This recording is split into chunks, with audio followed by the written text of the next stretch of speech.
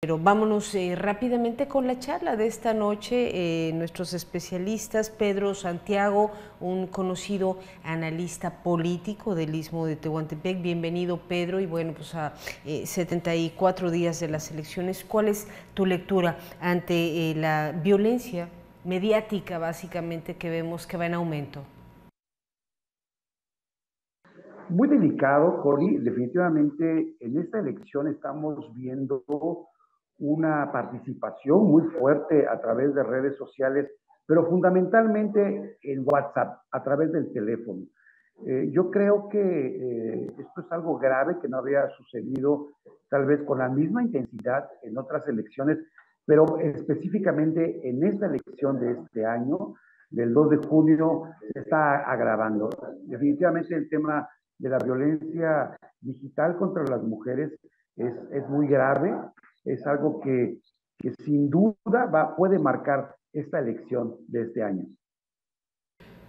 Coincido, coincido contigo, puede aumentar. Ahora, ¿cuáles son los retos, Pedro, para las y los candidatos? Y me refiero básicamente ante la gran cantidad de noticias falsas, de información que no se confirma, pero eh, se difunde mucho en redes sociales.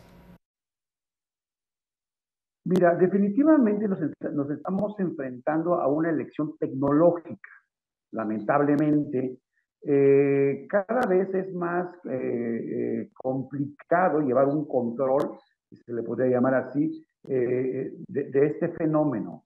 Yo creo que definitivamente hay mucha información basura, hay mucha información que, no es, que no es cierta, pero al estarse repitiendo y al estarse compartiendo, pues genera duda y muchas veces eh, se, le cree, ¿no? Por eso es muy importante que la ciudadanía verifique de dónde viene la información, que cheque el origen de, la, de la misma y podamos tomar conciencia de tal forma que evitemos que la violencia siga permeando en las redes y siga permeando en el ánimo de la, de la gente. Sí, efectivamente. Ahora, eh, eh, digo, habría que revisar si también va a haber un proceso de elecciones a través de redes sociales, independientemente de lo que suceda en las urnas. ¿Qué pasa cuando la violencia política contra las mujeres también de repente la ejercen las propias mujeres, Pedro? Eso es lo más lamentable.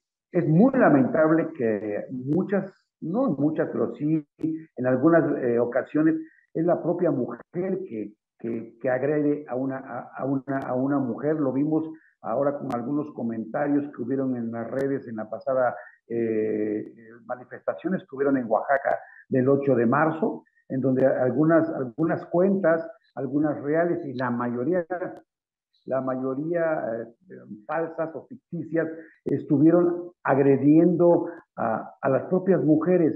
Y, evidentemente eso es muy, muy lamentable, muy lamentable porque eso nos puede llevar a una, a una situación de seguir incrementando la violencia política, la violencia de género hacia, hacia las mujeres. Gracias, eh, Pedro Santiago, por la opinión. Ahí lo dejamos abierto el tema 971-112-1300. Si le parece bien, nos vamos con las breves. Eh, trágicos eventos este fin de semana a continuación.